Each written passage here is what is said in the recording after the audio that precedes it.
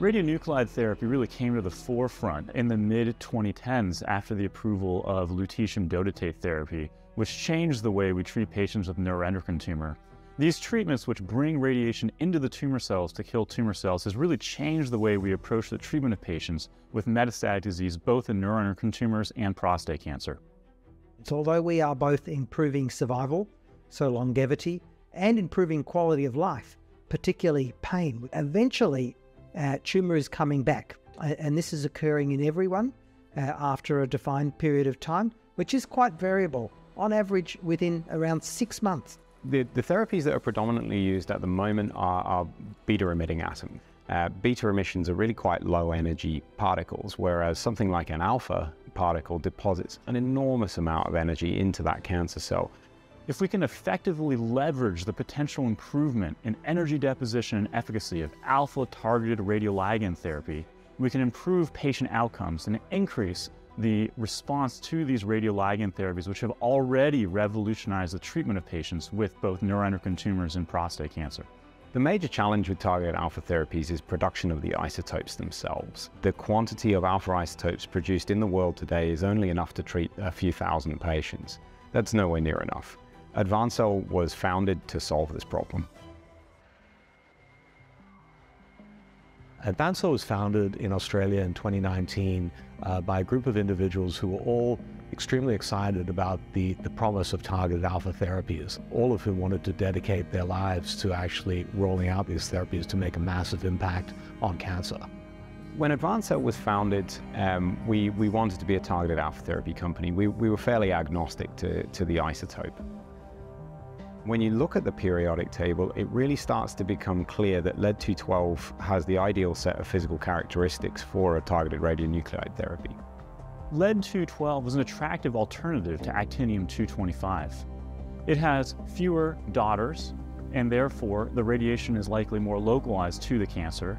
It has a shorter half-life, and potentially it can be more easily produced. Currently, AdvanCell is operating in multiple sites around Australia. We have facilities in, in Brisbane, in Sydney, in Melbourne, uh, in Adelaide. We came up with this solution to make uh, a very high yielding, very stable generator that would last a very, very long time and produce lead-212 reliably every day.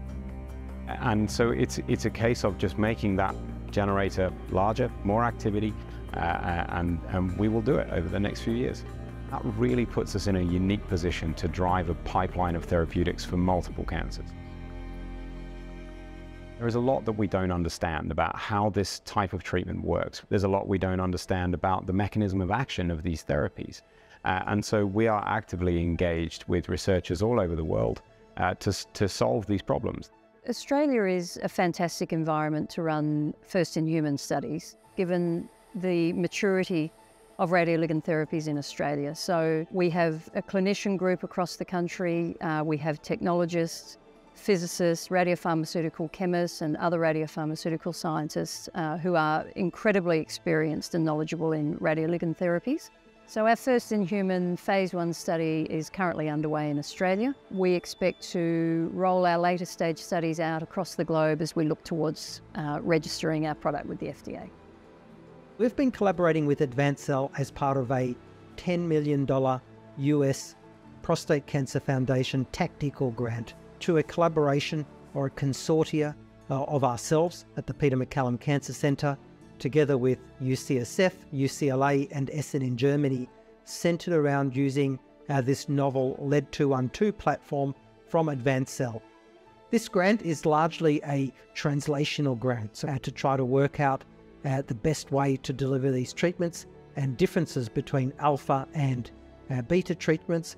But we're also hoping to do some early phase in human trials and look where do they go?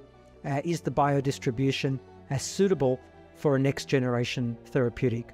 At UCSF, we've been interested in running clinical trials using actinium-225 labeled radionuclide therapies to treat patients with prostate cancer. But due to the limited availability of actinium in the United States, we're excited to collaborate with companies such as AdvanCell to use lead-212 in open clinical trials to treat patients with metastatic castration-resistant prostate cancer. The future for AdvanCell uh, involves um, progressing our clinical trials and expanding our manufacturing platform, not only in Australia, which is so well suited to these uh, earlier stage trials, uh, but also then in the US um, for, for later stage trials and large scale manufacturing. Uh, we have a pipeline of therapies. Our most advanced is our prostate cancer agent, but we are extremely excited about progressing these other molecules for other hard to treat cancers, which are currently completely underserved, like metastatic melanoma and pancreatic cancer and colorectal cancer. Targeted alpha therapies are the next step. This, this is how radionuclide therapy evolves. Changing the way we treat cancer with, with, with targeted alpha therapies is the, the most exciting thing I've, I've ever been involved in.